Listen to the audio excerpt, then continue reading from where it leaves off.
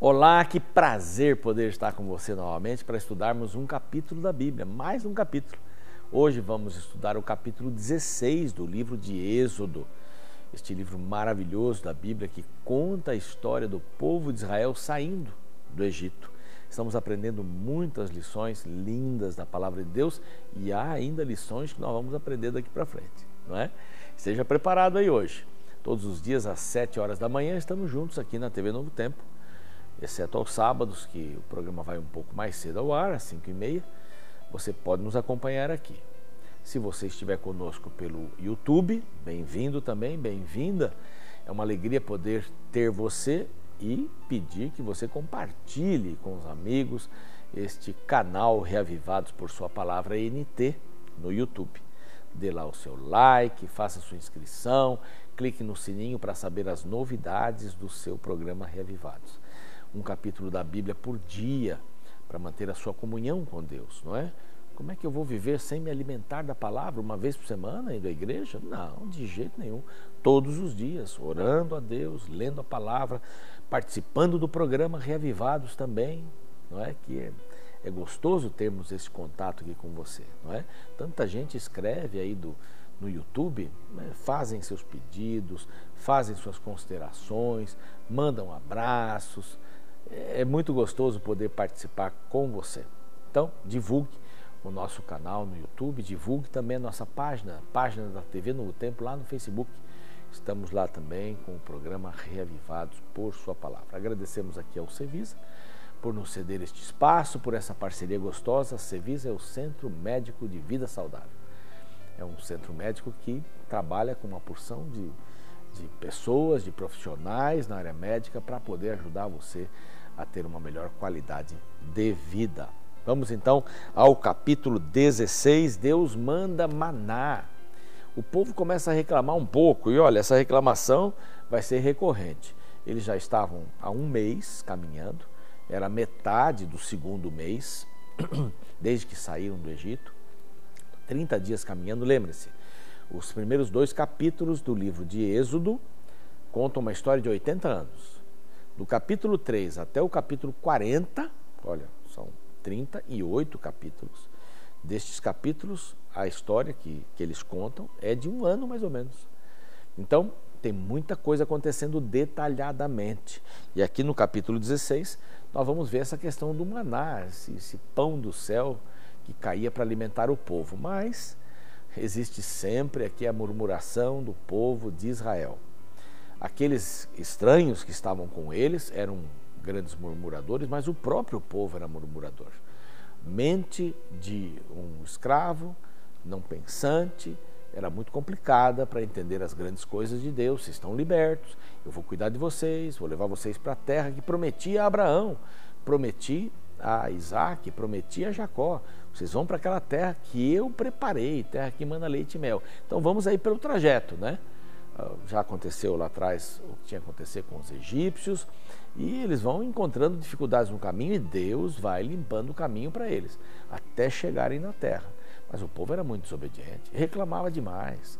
Por isso que diz que a palavra diz que Moisés era um homem manso, era um homem que tinha paciência com o povo, era conhecido pela sua paciência pelo, para com o povo. Então aqui, já há um mês de caminhada, estão no Sinai. Estão chegando aí já na direção do Sinai.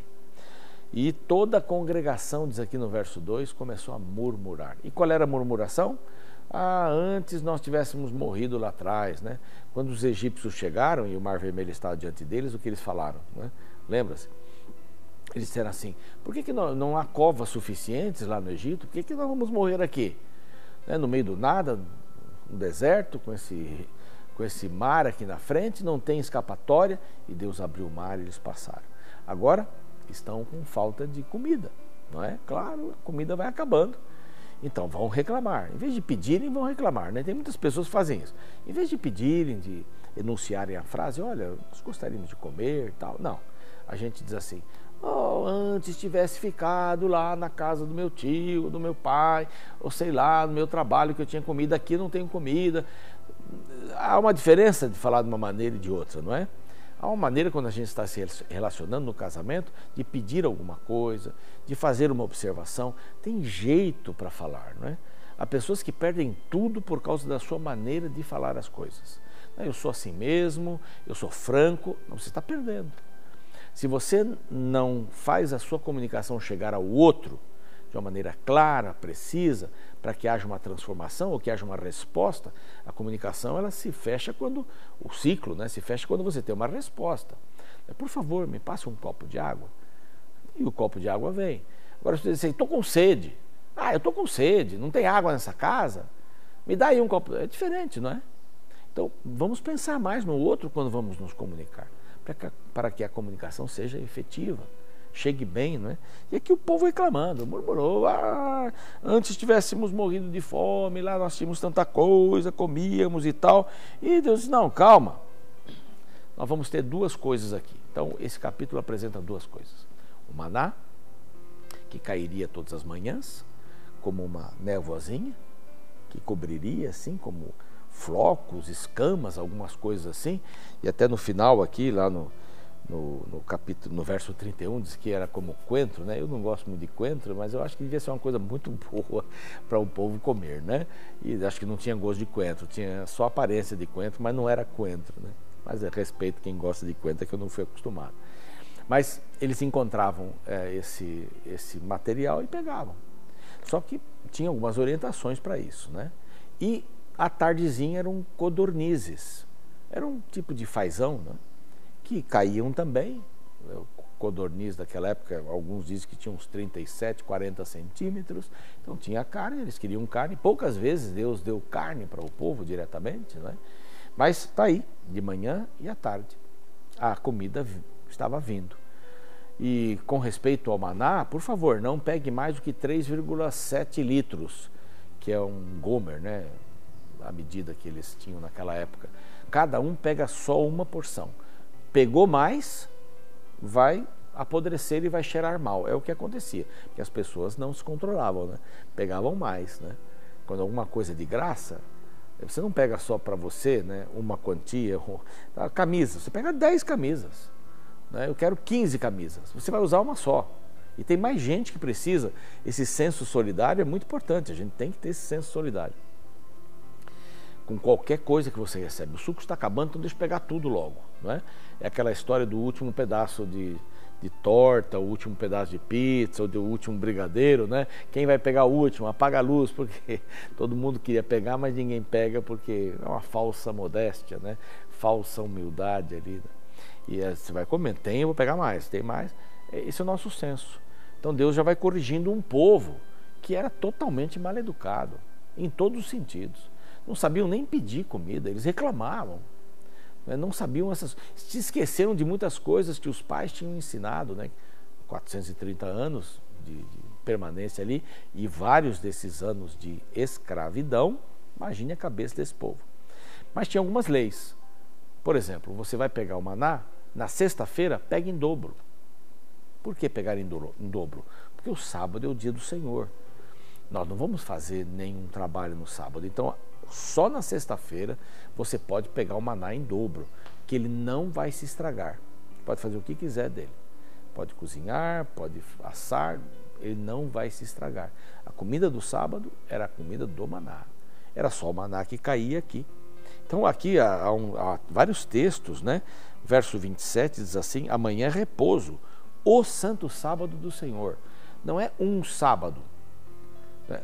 Na questão da Páscoa, o sétimo dia, contando a partir do primeiro dia do primeiro mês, o sétimo dia era chamado de Shabá, era um sábado. Era um sábado também. Era um sábado que eles deviam guardar.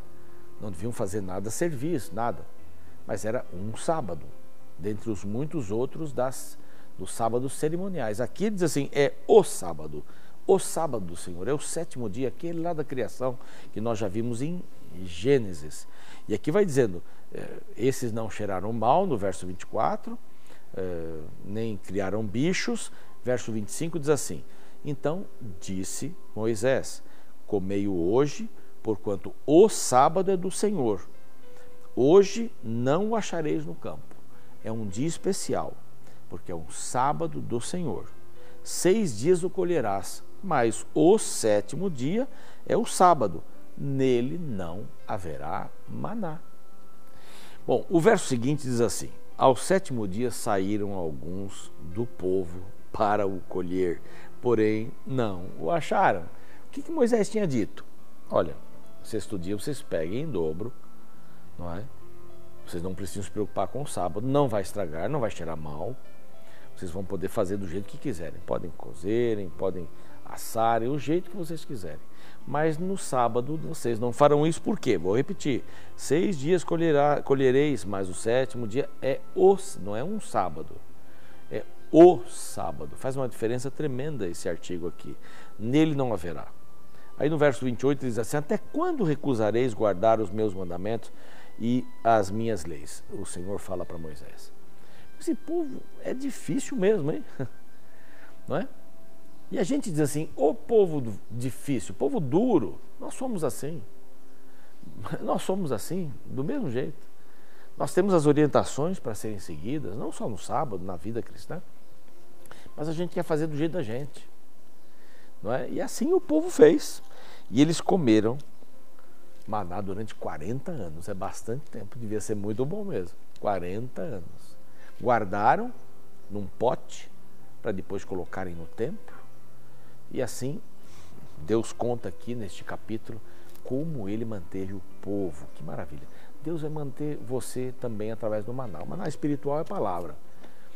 O maná espiritual é palavra. Ele quer manter a sua vida espiritual. E também quer lhe ajudar, dando saúde para você, para trabalhar, emprego, Vamos confiar nele. Ele vai dirigir a nossa vida. Vamos orar? Pai bondoso, nós te agradecemos muito porque o Senhor nos orienta. O Senhor tem intenção de nos alimentar espiritualmente. Aqui está o maná, a tua palavra. Mas também desejamos ter o pão de cada dia. Não queremos ser murmuradores, mas queremos reconhecer que o Senhor está cuidando de todos nós. Cuida, vela, nos acompanha e nos indica o caminho que devemos seguir. Em nome de Jesus te agradecemos. Amém. Muito obrigado pela audiência hoje. Espero você no próximo encontro, hein? Um abraço.